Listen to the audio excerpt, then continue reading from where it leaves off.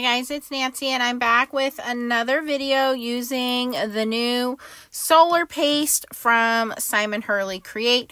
You have six different colors of this paste and when you use it on white cardstock, it just looks like it's pearlescent, but when you use it on dark cardstock, you can see the color kind of comes through.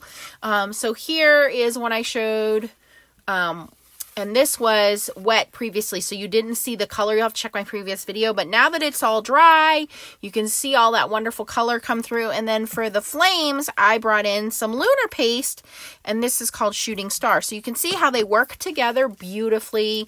They're the same consistency. The difference is these look really cool on they kind of change colors. Like color shifting is what I keep calling it on light or dark cardstock. So if you missed that video Here's what the colors look like when they're swatched out.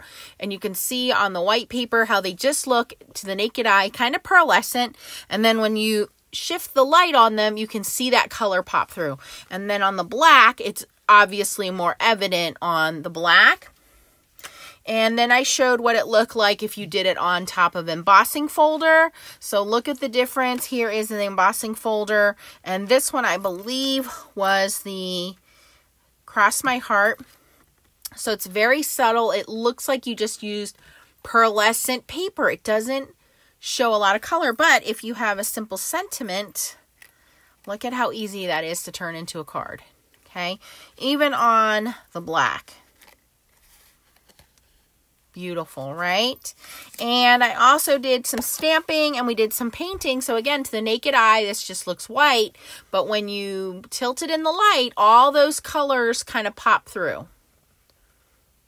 So very iridescent, translucent, lots of fun with this. Well, I had another idea today um, using them with this ghost stencil. So this is from Simon Hurley as well. And it is just called Ghosted. And I thought, wouldn't it be cool to have these ghosts? Because they will look whatever color on white paper, but they'll look really cool on the dark. So we're going to just do two card panels real quick here with these and then I'll have my I'll have my Halloween card. So this already has some pixie dust still stuck on it from last time I used it. But let's say we're going to make our ghost kind of beluga, beluga blue. Okay, and all you do is you just grab your palette knife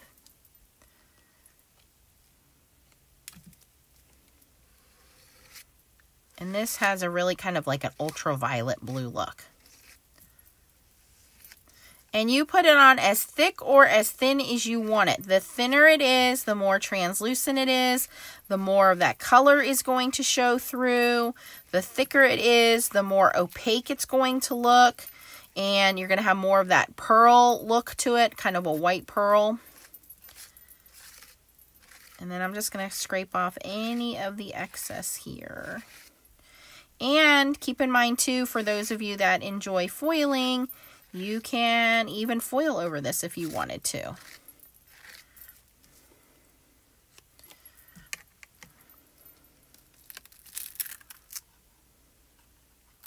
Okay, so that looks pretty cool. And then when it dries, it's going to have that kind of iridescent blue look, but you'll definitely be able to see the ghosts. They'll be kind of this color right here. So that's going to look really neat. I'm just going to put that aside to dry. But let's try that same look on white cardstock. And I'm just going to use a little wipey here. Clorox wipe.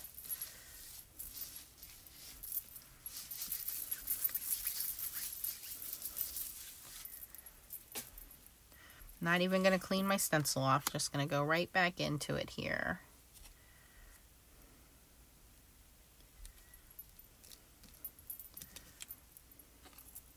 And whatever excess you have, you can put right back in the jar. Now, you might want to use a longer spatula or smoother. Um, it will give you a smoother application so you don't have the lines that I have. But it's just about taking your time.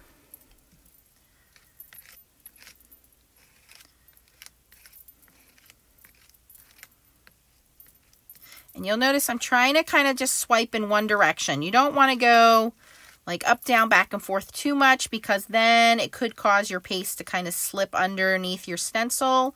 And we don't want that. We want this to be generally pretty smooth, pretty even.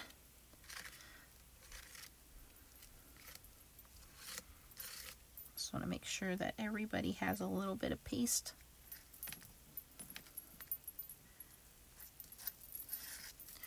And then again, any extra can just be scooped back into the jar. Put the lid on.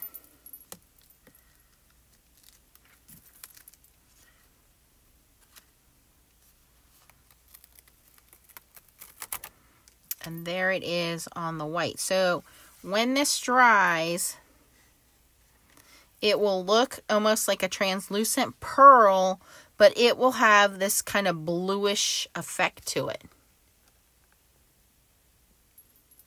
So make sure you keep an eye out. I'll take some pictures for you guys to see that. We're just going to set that aside and allow it to dry. And then cleanup is pretty easy. You can definitely just take this up to the sink. I don't have a sink down in my basement, but I could go upstairs and just wipe it with a little soap and water or um, a little Clorox wipey will do. So you can use these in the same way you use lunar paste Again, you can use it over embossing folders once um, just a little dry application. I used it with a paintbrush with a little bit of water. Um, you could flick it with your paintbrush and get kind of specks. Um, and you can do all kinds of things with it, but it's just a matter of how the effect is. is very subtle on white cardstock and more of an effect on dark cardstock. So you kind of have two different ways that you can play with it. So definitely try them out. Let me know down in the comments, do you think the ghosts are going to look better on the white cardstock or the dark cardstock? I think they're going to look better on the white cardstock because you're really not going to see them. You'll know that they're there. They're not invisible, but they're going to be kind of cool with that colored haze on there. And that's all it takes to clean everything up without having to go to a sink. I just let that dry and then put that away. If you have any questions, post them down below. I'll put the link down below for you guys. There are six colors of solar paste. And again, they are new from Simon Hurley Create. You can get them from Ranger. You can get them from Simon Says Stamp.